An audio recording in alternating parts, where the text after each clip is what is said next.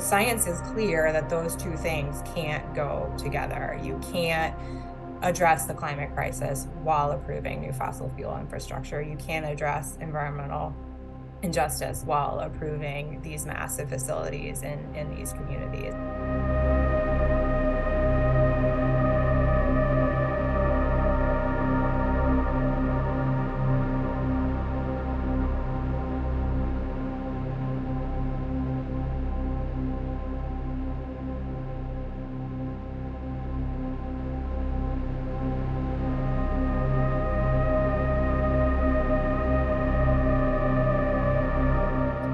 Well, the community most impacted by the, this project is Nuiqsut, and they are opposed to the project because of the numerous harms that it will cause them. I mean, they're already dealing with gas leaks, oil spills, toxic pollution from the existing oil and gas infrastructure that's already in in the area, um, and this will only cause more harm.